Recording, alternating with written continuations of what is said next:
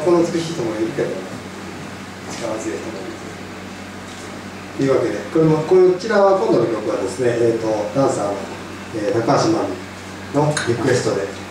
あ広くないびっくりした。え何？大丈夫ですちょっと見せられないようなことが。大丈夫です大丈夫です。曲目言ってると思うんですが違わなくて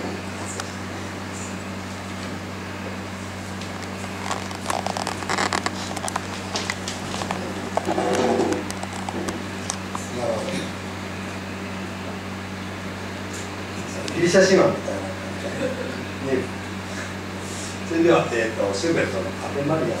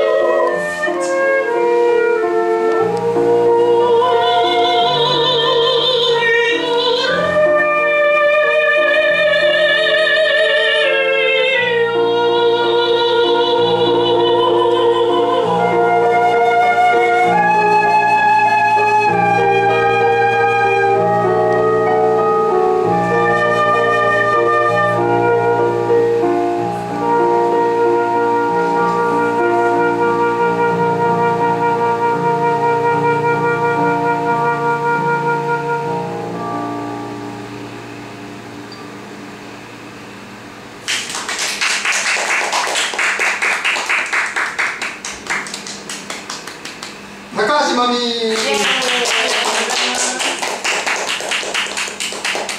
いつも驚かされることが多いんですが、今日は別の意味で驚かされてね、あの僕はちょっとあのこうドラマティックなちょっとこうお芝居の入ったような、えー、ダンスが多いんですけど、えー、素敵でした。ありがとう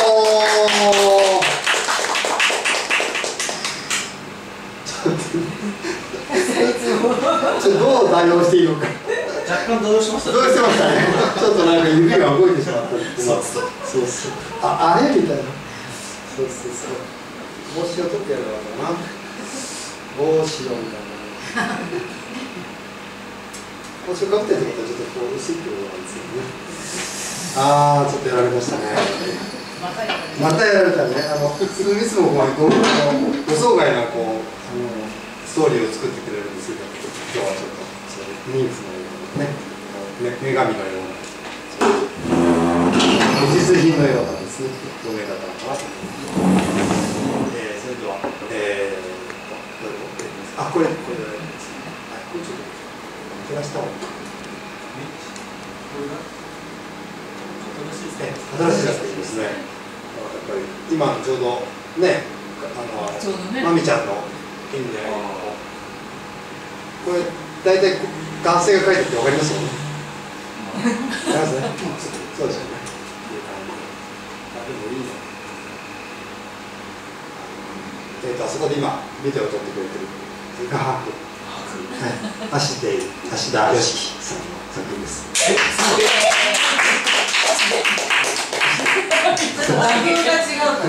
そう前はあのこうシンボリックなこうね、あのあのなんていうかちょっとしコンピューター的なというのでしょうかね。そういうしあのデジタルな、えー、絵の太陽とかこう復活する日本みたいなのが最近は多かったんです。青いやつとか。今日モノクロでね。これは鉛筆ですかね。鉛筆です。ああ本人が読んで間違いない。じゃあ、えー、芦田さんはあの詩人でもあるのであてかこれちょっと紹介しましょうか。もう小学校3年生の時からこう画伯としてのですね才能っていうことですね。賢治の物語宮沢賢治ですね。の多くの長編の小編小説を小学校3年生の芦田良樹青年ですねあ少年だ夏休みの自由課題の宿題に62枚の紙芝居にクレバスで書きました。ね「ボラの広場物語」の始まり始まりということでですねこれは、えーと、1995年今から17年前12月22日に書本が出ています、えー、オッペルとゾウかなこれ。それは関係ない。あ違う別の人です。あいろいろなお話が入ってるんですね。そうですね、えー、あちょっと見ていただけたらと思って思います。あかわいい爪草なんかに入ってるホラー広場が入っていて警察署足場がわかりました。少し5つぐらいの作品が欲しかったら頼んでください。今ビデオを撮ってくれて橋田さんです。というわけで、あの展示のですね、ちょっとあの作った曲っていうのがありますよね、なんかね。あの家路に歌詞をつけたのもあります今日僕ケンジの刺繍を持ってこようかなと思ったけど重いのでやめちゃったんですねそしたらあのあのケンジの作った音楽をちょっと思い出しながら、まあ、ちょっと完全には彼の曲にならないんですが宮沢賢治の音楽とそして、えー、宮沢賢治風の音楽と芦田さんの詩と合わせてみたいと思います。似てますか？似てますああ写真が子供の頃の。ほとんど成長してます そんなことはそれではお送りしたいと思います。神様からの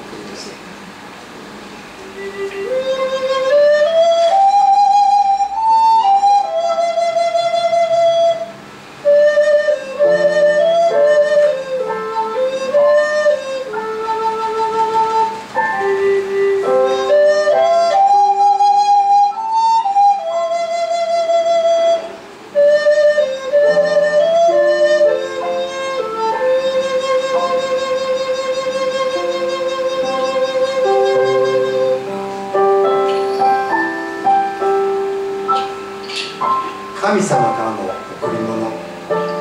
それはあなた自身です。天のどの星よりも輝いている。その真の姿を垣間見ることができたらあなたの人生は一変することでしょう。神様の住む聖なる場所。それはこの世の中のそのものなのです輝く炎のように燃えているその真の光景を眺めることができたらあなたの人生は一変することでしょう神様が起こした最高の奇跡。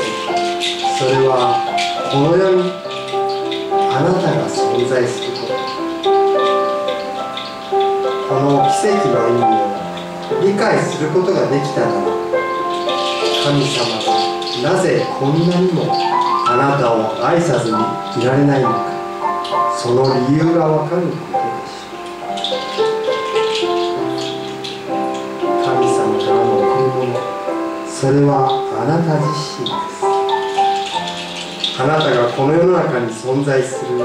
その意味を理解することができたならあなたの人生は一変することでし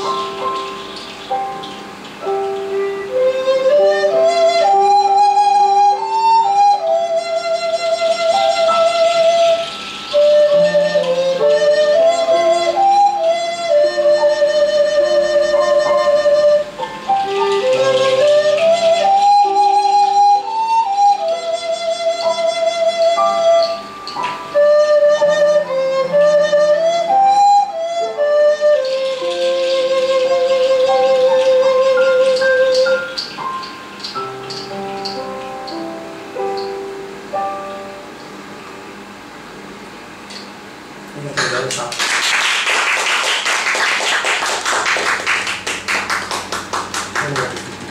詩が割と今日今回商商品というかコンパクトにまとまっていてこの絵から受けた衝撃というんでしょうかね意味としてはこうあの分かるんですけど理性的にはちょっとあのねちょっとこれで先ほど童謡的な童話的な絵とこうまたこうなんか自分の中でいろんなものがこう渦巻いてる中で演奏させていただきました。えー、とちょっと印象を何か演奏に託してちょっとお送りしたいと思います。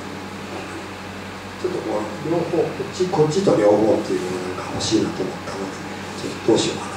ちょっとフルートでやってみましょうか。